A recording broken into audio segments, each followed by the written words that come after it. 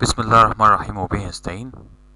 هنكمل دلوقتي مع بعض باقي الدورة الشاملة لدراسة وتصميم الطرق. إعداد مهندس أيمن محمد أنديل. طبعا بناخد نبذة سريعة عن صاحب العمل.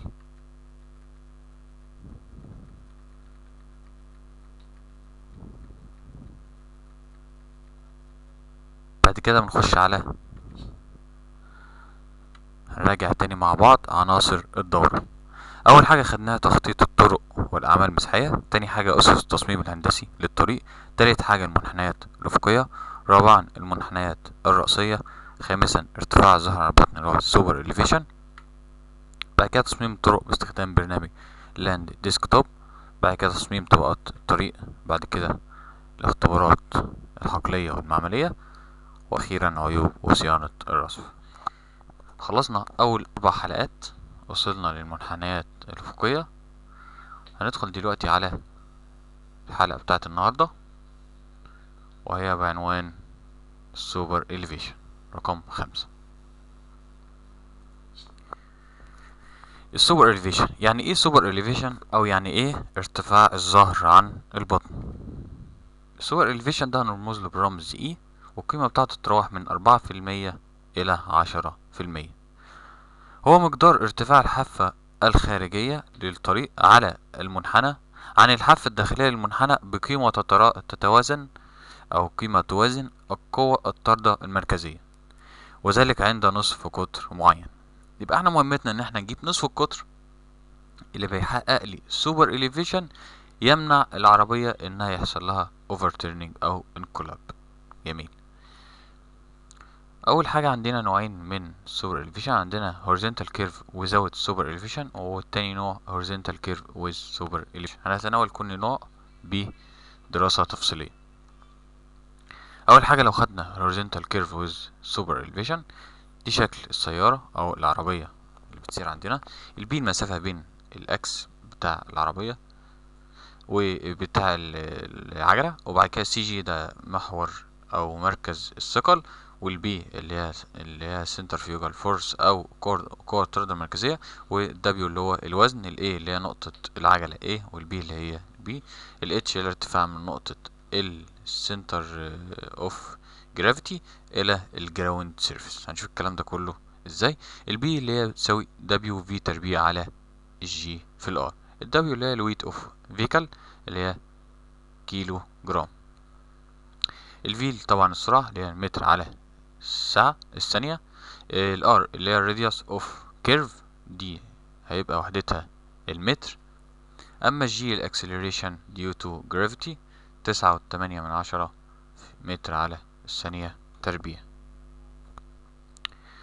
بعد كده هنخش على ال H اللي هو ال height of center of gravity to ground surface اللي هي المسافة اللي إحنا اتفقنا عليها من من ال CG لحد ال ground surface ال B طبعا المسافة بين العجلتين.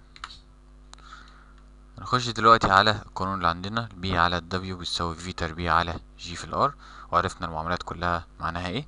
ال P على ال W اللي هي centrifugal ratio أو نسبة قوة الطردة المركزية. There is two effects for P on the vehicle. يعني في تأثيرين على السيارة نتيجة القوة اللي هي ال P أول حاجة ال overturning at point B outer wheel. ال overturning ده بيحصل نتيجة إيه؟ Overturning ده زي ما إحنا شفنا عندنا ال P ال P كقوة. ال P لو ضربناها في ال H هيدينا moment بيقلب عند النقطة بي البي في الاتش يدينا moment طب اللي يرد عليه عشان يعمل اتزان يبقى ال W في ال B على الاتنين W في ال B على الاتنين يبقى نساوي ده بده عشان يحصل equilibrium أو اتزان.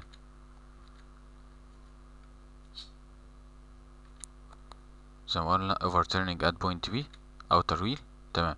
overturning اللي هو ال P في ال H أما resistance moment اللي هو W في B على الاتنين. لو سوينا الاتنين في بعض يبقى ال P في H بيساوي W في B على الاتنين. نطلع من هنا إن P على W بيساوي B على اتنين H نخش دلوقتي على الحالة التانية sliding the vehicle outwards اللي هو التأثير التاني نتيجة centrifugal force أو القوة الطاردة المركزية. آه عندنا زي ما إحنا شايفين الوزن بيأثر لتحت. الوزن ده لو قسمناه على الاتنين يبقى ال RA وال RB نقدر نقول من هنا ال F بيساوي ال side friction دي قيمتها من واحد من عشرة إلى ستاشر من مية. ال RA بيساوي ال RB بيساوي W على اتنين الوزن على الاتنين تمام؟ بعد كده نقدر نقول إن ال P لو حللناها بتساوي FA زائد ال FB طب ال FA اللي هي إيه؟ اللي هي ال RA في ال F وال RB في ال F نقدر نخرج ال F بره يبقى ال RA زائد ال RB اللي هما ال reaction اللي هو ال W يبقى الاف في الدبليو يدينا البي نقدر نقول من هنا إن البي على الدبليو بتساوي الاف نقدر نستخلص الكلام ده في شرطين two conditions. لو البي على الاتنين اتش وعرفنا البي وعرفنا الاتش أقل من ال F في الحالة دي the vehicle would overturn on the outer side before sliding. يعني السيارة يحصل لها overturning قبل ما يحصل لها تزحلق أو skidding. طب لو البي أكبر من البي على الاتنين اتش أكبر من اف يحصل عكس الكلام ده the vehicle would sliding أو skidding before overturn. تمام. هناخد في الحالة بقى التانية ال horizontal curve with super elevation. حينما تعبر مركبة جزء منحني في الطريق فإنها تتعرض إلى قوة طاردة مركزية أو centrifugal force.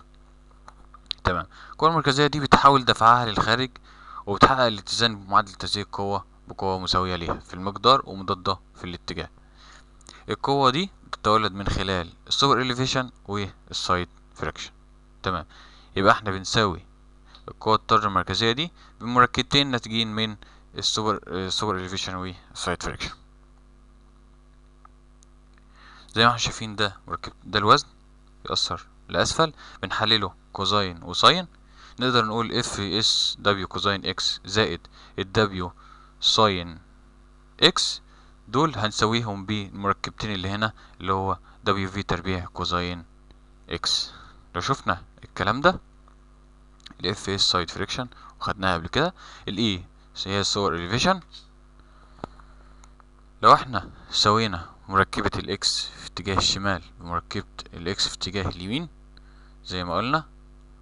نرجعها تاني. هنسوي مركبات ال X في اتجاه ده مركبات ال X في اتجاه ده.